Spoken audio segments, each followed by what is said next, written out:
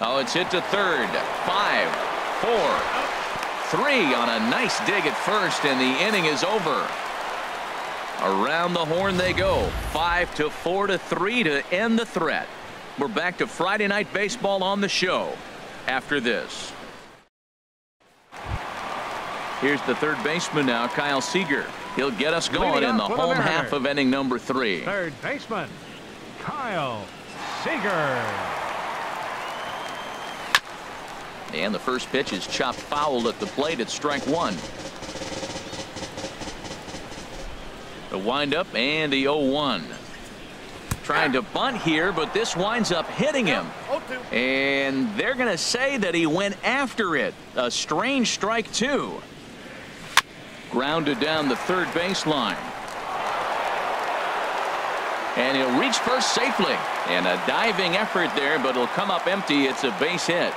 Well, when you lead off an inning, you become the leadoff guy. Get on any way you can. And right there, that little infield single, as innocent as it might look, might start a rally for them. Do anything you can to get on.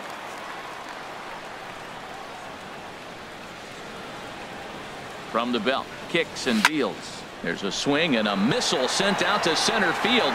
Gomez going back to the track.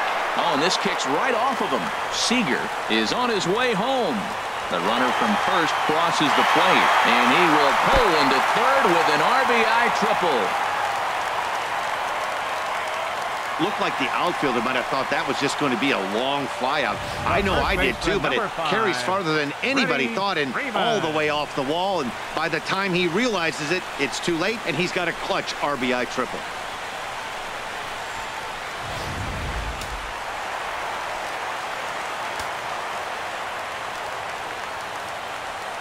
Here's the first baseman, Freddie Freeman. He offers at it and hits it in the air to left.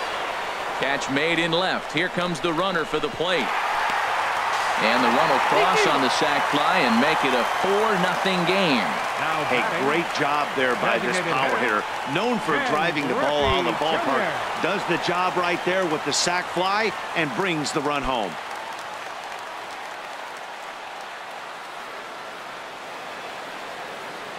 First pitch on its way. Line drive to center field. Gomez is there now, and he has it two gone. Well, this one was squared up pretty good, but just like pitchers give up hits on well-executed pitches, batters make outs on balls they couldn't have hit much better. Now here it comes. Corey Seager is in with two away here as this one swung on and missed for the first strike. He's such a good hitter. You don't see him miss pitches that are right there in a good hitter's location very often. Pitch swung on and hit in the air. Calling for it, Hoying. Makes the catch, and that'll retire the side. So they get a couple of runs on two hits, no errors, and no one left aboard. On now to the top of inning number four. It's the Mariners four.